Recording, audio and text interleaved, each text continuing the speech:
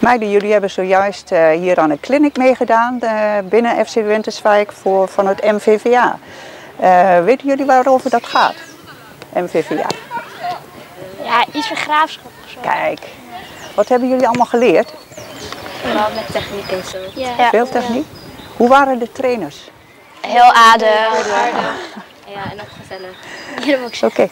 Uh, Milou was er ook bij. Weten jullie in welk team dat zij speelt? Onder 17 toch? Ja, zij gaat toch naar uh, de, de eerste. Ja, ja. speelt in de onder 17. In welk team spelen jullie hier binnen Winterswijk? In de 13-1. Ja, Allemaal in 13-1? Ja, 15-1. Oké. Okay. En gaan jullie winnen dan? Ja, ik denk het wel. Een beetje enthousiaster hè meiden? Hey, gaan jullie winnen? Ja!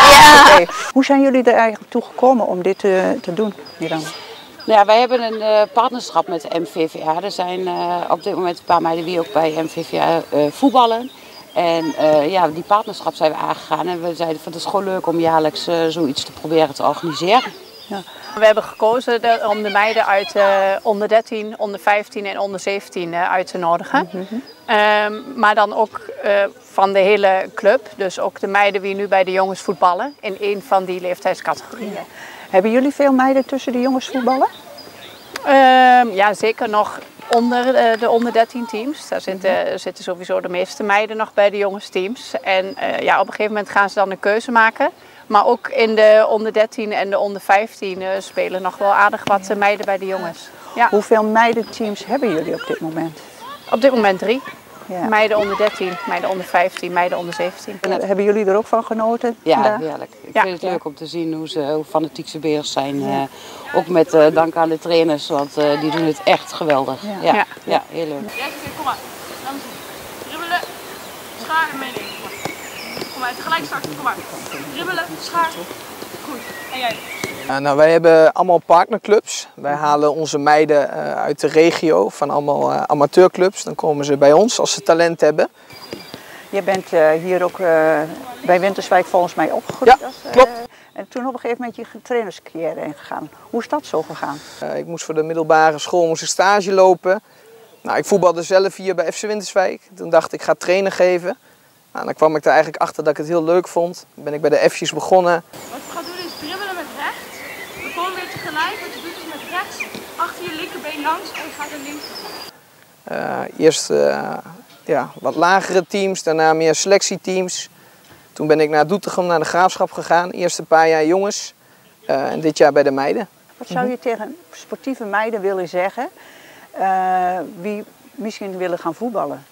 Wat er tegenwoordig allemaal mogelijkheden en kansen zijn voor die meiden. Ja, allemaal duimen. Maar waar moet ik die camera op Welke camera?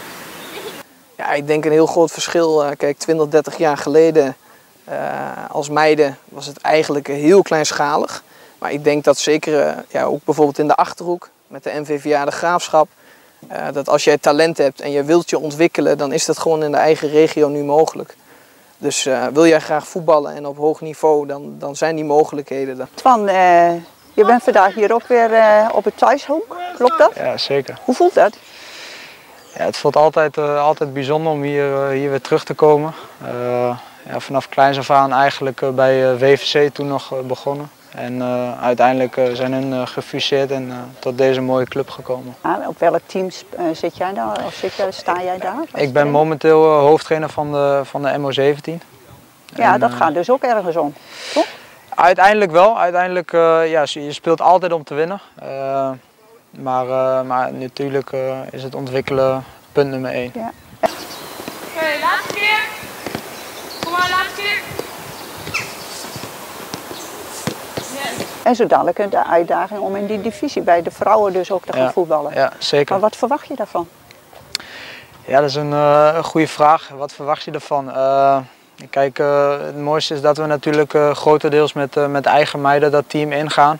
een paar externe versterkingen van, van buitenaf. Mm -hmm. Dus ik denk dat dat een, een super goede combinatie is met wat, wat oudere meiden, slash vrouwen die toch al meer ervaring hebben in het betaalde voetbal, om het maar zo te zeggen. Mm -hmm. En uh, ik hoop dat die, uh, die meiden, Aanhaken. onze meiden, mooi kunnen helpen in hun uh, ontwikkeling. Milou, jij bent hier vandaag als assistenttrainer van de, van de hoofdtrainer, zullen we zeggen, van het NVVA. Ja, ja. Hoe is dat gegaan? Dat is heel goed gegaan. Het was heel gezellig en heel leuk. En uh, ik vind het ook echt leuk om te helpen. Ja? ja. Jij doet ook een op opleiding specifiek uh, voor trainingen al of geven? Um, ik doe de opleiding sport en bewegen. Aha. Dus ik moet zelf ook stage lopen. Uh, dat doe ik bij de onder 13 bij MVVA.